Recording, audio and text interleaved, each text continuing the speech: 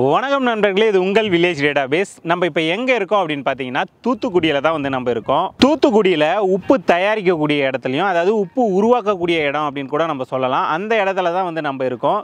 இந்த வீடியோவை பொறுத்தவரையிலையும் அதாவது இந்த தண்ணியிலேருந்து உப்பை எப்படி உருவாக்குறாங்க அந்த உப்பை வந்து எப்படி சேமித்து அதை ஒன்றா கொட்டி அதை வந்து சுத்தப்படுத்தி அது பேக்கெட்டாக எப்படி கடைக்கு வருது அப்படின்றத பற்றி எல்லாமே வந்து நம்ம தெரிஞ்சுக்க போகிறோம் நம்ம டெய்லியும் யூஸ் பண்ணக்கூடிய அந்த உப்பு வந்து எப்படி தயாரிக்கிறாங்க அப்படின்றத இந்த வீடியோவில் நம்ம தெளிவாக பார்த்துடலாம். வாங்க. இப்படி அந்த நிலத்தை வந்து பார்த்திங்கன்னா பாத்தி பாத்தியாக கட்டி வச்சுருக்காங்க.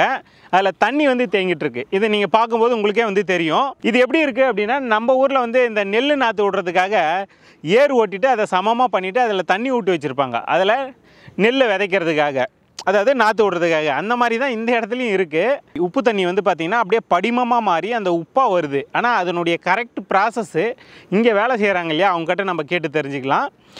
அதுக்கு முன்னாடி வந்து பார்த்திங்கன்னா இந்த பாத்தி பாத்தியாக இருக்குது பார்த்தீங்களா இதில் உங்களுக்கே தெரியும். ஒயிட் கலரில் ஒரு மேடு மாதிரி இருக்குது ஸோ இது எல்லாமே என்னன்னு பார்த்தீங்கன்னா உப்பு தான். ஸோ இதை வந்து ஒதுக்கி விட்ருக்காங்க இது வந்து பார்த்திங்கன்னா ப்யூர் கல் உப்பு. ஸோ நம்ம டெய்லியும் யூஸ் பண்ணக்கூடிய அந்த கல் உப்பு தான் இது. இதே மாதிரி தான் வந்து பார்த்திங்கன்னா ஒயிட் ஒயிட்டாக உங்களுக்கு தெரியும். ஸோ மேடு மேடாக பாத்தி கட்டி வச்சுருப்பாங்க. இது எல்லாமே வந்து உப்பு தான். இது எல்லாத்தையுமே ஒன்றா வாரி கொட்டி அதுக்கப்புறம் வந்து அதை மூட்டை பண்ணி பேக் பண்ணி அது நிறைய ப்ராசஸ்ஸு அதெல்லாம் வந்து அடுத்து தொடர்ந்து நம்ம பார்க்கலாம். பொதுவாக இந்த கடல் தண்ணி வந்து உப்பு கரிக்கும் அப்படின்னு சொல்லுவாங்க. ஆனால் அந்த தண்ணி வந்து அந்த தண்ணியோட திடம்னு சொல்லுவாங்க இல்லையா? அது ரொம்ப இதாக தான் இருக்கும். ஆனால் இது வந்து இதை கையில் தொட்டு இது பண்ணோம்னாலே ரொம்ப பிசு பிசுன்னு இந்த அடர்த்தி சொல்லுவோம் இல்லையா? தண்ணியோட அடர்த்தி வந்து நல்லாவே தெரியுது. இந்த தண்ணியில் உப்பு இருக்கிறது அந்த அடர்த்தி வந்து நல்லாவே தெரியுது. ஓ இப்போ அதில் தண்ணி விட்டிங்கன்னா ஒவ்வொரு தெப்பமாக அப்படியே இறங்கி வந்துகிட்டே இருக்கும். இங்கே வந்துட்டே இருக்கும். ஓ ஓ. கடைசி ஸ்டெப் வரைச்சில் இருபத்தி மூணு டிகிரி வந்துடும் ஓ அந்த ஃபஸ்ட்டு தெப்பத்தில் எவ்வளோ இருக்கும்? எட்டு டிகிரி இருக்கும். எட்டு டிகிரி ஆமாம் அதாவது அந்த டிகிரின்னு வந்து சொல்கிறாரு இல்லையா? அது வந்து எதை சொல்கிறாருன்னா இந்த நான் சொன்னேன் இல்லையா அந்த தண்ணியோட அடர்த்தி சொல்கிறோம் இல்லையா அது? இப்போ கடலோட அடர்த்தினா எவ்வளோ இருக்கும்? அந்த டிகிரி. ரெண்டு டிகிரி. இப்போ கடல் தண்ணியை வந்து நம்ம வாயில் வச்சு பார்க்கும்போது உப்பு கரிக்கும். ஆனால் கையில் தொடும்போது அது அந்த அளவுக்கு தெரியாது. அடர்த்தியாக இருக்கிறது. ஆனால் இங்கே நான் தொட்டு பார்த்தாலே வந்து பார்த்திங்கன்னா ஒரு பிசுபிசுப்பு தன்மை இருக்கும்னு சொல்லுவோம் இல்லையா? அந்த மாதிரி தான் இருக்குது ஸோ அது வந்து பார்த்திங்கன்னா போர்லேருந்து தண்ணி அந்த ஃபஸ்ட்டு தெப்பத்துக்கு விடும்போது ஏழா எட்டு. எட்டு டிகிரி வந்து அங்கே இருக்கும். அப்படியே ஒவ்வொரு டிகிரியாக வந்து கடைசி வந்து ஏழாவது தப்பம். இல்லை பதினஞ்சாவது தெப்பம். ஓ கடைசி வந்து பார்த்தீங்கன்னா பதினஞ்சாவது தப்பத்துக்கு வரும்போது இருபத்தி மூணு டிகிரி இருபத்தி மூணு டிகிரி ஆகிடும் ஓ இருபத்தி மூணு டிகிரி ஆகிடும் அதுக்கப்புறம் என்ன நடக்கும்? பாத்திகள் வைப்பாங்க இந்த பாத்தி. ஓ அதுக்கு அடுத்து வந்து இந்த மாதிரி பாத்தி. பாத்தி. ஓ இந்த பாத்தியில் வந்து பன்னெண்டு நாள் பன்னெண்டு நாள் பதிமூணு நாள் தண்ணி அப்படியே இருக்கணும். அப்படியே இருந்தால் தான் அந்த படிமம் உருவாகிட்டே இருக்கும். உப்பு உருவாகிட்டே இருக்கும் உப்பு போட்டோன்னா உப்பு அடியே உருளும் இ- இப்போ டெய்லியுமே உப்பு எடுப்பீங்களா? டெய்லி இல்லை பதினஞ்சு நாளைக்கு ஒரு நாள். பதினஞ்சு நாளைக்கு ஒரு டைம் தான் இதுலேருந்து உப்பே வெளியே எடுப்பீங்க? ஒரு நாள் இது இது ஒரு நாள்னா. அந்த மூணாவது பாத்தி ஒரு நாள். ஒரு நாள். ரோலிங் ஆகிட்டே போயிட்டே. இன்னொரு நாள் இன்னொரு நாள் அந்த மாதிரி உப்பு வந்து நீங்கள் எடுத்துக்கிட்டே இருப்பீங்க. இப்போ எனக்கு என்ன ஒரு டவுட் நான் இப்போ இந்த உப்பு இருக்கு இல்லையா? ஸோ இதுலேருந்து நம்ம எடுத்துடுறோம். எடுத்துட்ட உடனே இந்த தண்ணியை வடிச்சிடுவீங்க. நம்ம அடிச்சுக்கிடுவோம் வடிச்சிருவீங்க புது தண்ணி தான் இதுக்கு வரும். ஓ இப்போ இப்போ அந்த ஃபஸ்ட்டு தெப்பத்துலேருந்து செகண்ட் தெப்பத்துக்கு தண்ணி வந்துடுது அந்த தெப்பத்தில் உப்பு இருக்குமா? உப்பு அங்கால உப்பு வராது. வராது. வராது. ஓ அது அப்படியே இதாகி இதாகி வரும். ப்ராசஸ் ஆகி தெப்பம் அரைச்சல மட்டும் லைட்டாக உப்பு விழுந்து கடைசி பதினஞ்சாவது தெப்பத்துக்கு வரும்போது உப்பு இருக்கும். சரி ஓகேண்ணே. அப்போது இந்த பாத்தியில் வந்தால் மட்டும்தான் உப்பு வந்து நிற்கும் இப்போ இதை வந்து உப்பெல்லாம் ஓரம் இந்த மாதிரி அங்கே பாத்தி மாதிரி ஆமாம் வாரி வச்சுருவோம் வாரி வச்சுருங்க அது எத்தனை நாள் அப்படியே இருக்கும்? அது ரெண்டு நாள் அப்படி இருக்கும். அப்புறம் அள்ளி போட்டு வந்து இப்போ ரெண்டு நாள் கழிச்சு வந்து அதை கும்பலாக ஒரு இடத்துல ஒன்றா கொட்டிடுவீங்க. கொட்டிட்டு அதுக்கப்புறம் என்னென்ன அதுக்கப்புறம் லோடிங் அந்த மாதிரி வந்து மூட்டை கட்டி மூட்டை மூட்டை போய்க்கும் ஓ, மூட்டை பிடிச்சி இது எங்கே அனுப்புவீங்க? இது கர்நாடகா ஆந்திரா. அங்கே அங்கே போயிடும். இப்போ இங்கேயே வந்து அந்த பேக்கெட் மாதிரிலாம் இங்கேயே பண்ணுறீங்களா பேக்கெட்டும் பண்ணுறீங்க சரி ஓகேண்ணா இப்போ இந்த ஒரு சின்ன டவுட்டு இந்த உப்பில் மண்ணுலாம் இருக்குமா? அதெல்லாம் எப்படி ப இது பண்ணுவீங்க? மண் சில ஒன்று ஒரு ஒன்று வரும். மண் வரும். ஓஹோ. ஆனால் பியூர் உப்பு இதுதான். ஆ உப்பு பியூர் இதுதான். ஓ இந்த கல் உப்பு தான் வந்து பவுடர் எல்லாம் செய்கிறோம் பவுடரெல்லாம் இது பண்ணுறாங்க. இங்கே வந்து நம்ம அதாவது பேக்கெட்டாகவும் பேக் பண்ணுறோம் மூடையும் பார்க்கும் மூட் மூட்டையாகவும் அப்படியே பேக் பண்ணி வச்சிடுறீங்க. வெளியில் போகுது. எங்கெல்லாம் போகுதுண்ணே இது? இது கர்நாடகா ஆந்திரா ஆ. அப்புறம் தமிழ்நாடு ஃபுல்லாக தமிழ்நாடு ஃபுல்லாக இது? ஓ சூப்பர் சூப்பர் சூப்பர். அதாவது நம்ம நெல் வயல் சொல்கிறோம் இல்லையா? அந்த மாதிரி வந்து இது வந்து உப்பு வயல். ஆனால் இதை வந்து என்ன சொல்லுவாங்க அப்படின்னு பார்த்தீங்கன்னா உப்பு அலம் அப்படின்னு வந்து சொல்லுவாங்க. இந்த உப்பு உருவாக்குறாங்க இல்லையா? இந்த நிலத்துக்கு பேர் வந்து உப்பு அலம்.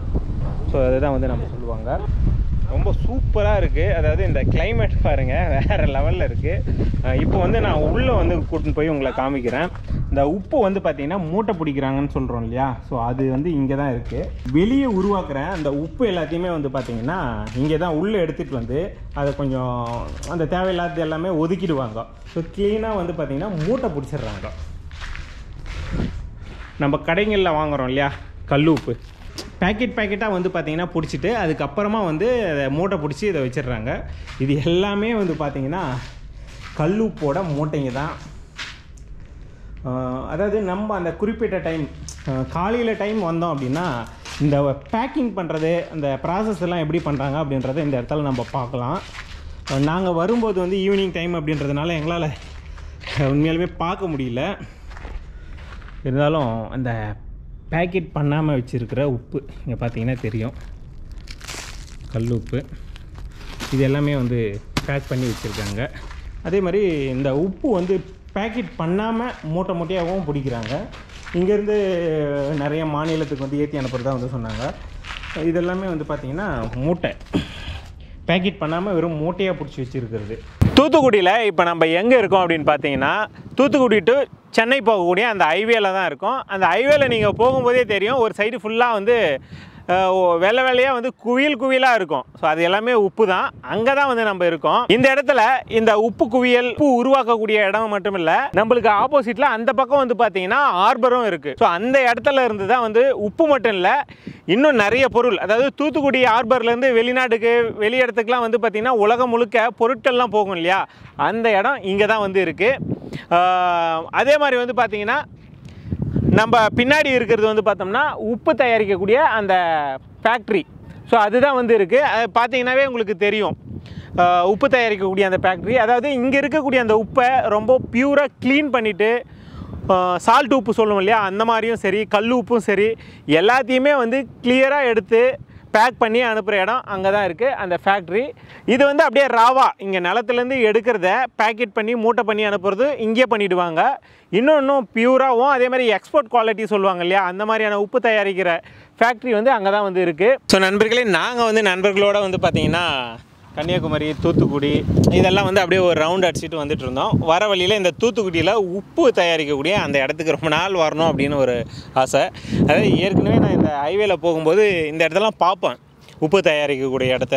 இங்கே நின்று இதை உள்ளே வந்து பார்த்தது கிடையாது. இது வரலையுமே நான் பார்த்தது கிடையாது. ஸோ எல்லாருமே அப்படி தான் இங்கே வந்து பார்த்தது உண்மையாலுமே ஒரு சின்ன சந்தோஷம்.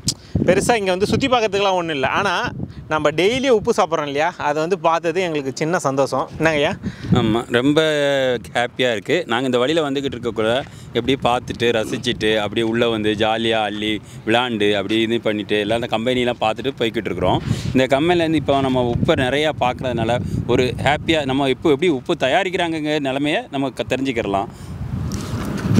ஆக்சுவலி எங்களுக்கு இது புது அனுபவம் தான். ஏன்னா நாங்கள் வீட்டு பக்கத்தில் ஃபுல்லாக நெல் வயலாக பார்த்தோம். இங்கே பார்த்தீங்கன்னா உப்பு வயலாக பார்க்குறோம் அதுதான் எங்களுடைய புது எக்ஸ்பீரியன்ஸ் இது. இங்கே சுற்றி பார்த்தா ஃபுல்லாக உப்பு தண்ணியாக நிறைஞ்சி அது ஃபுல்லாக சுற்றி உப்பு மண்டலமாக அப்படியே நிறைய போர்வு மாதிரி போத்தி வச்சுருக்காங்க. பார்க்குறதுக்கு ரொம்ப அழகாக இருக்குது.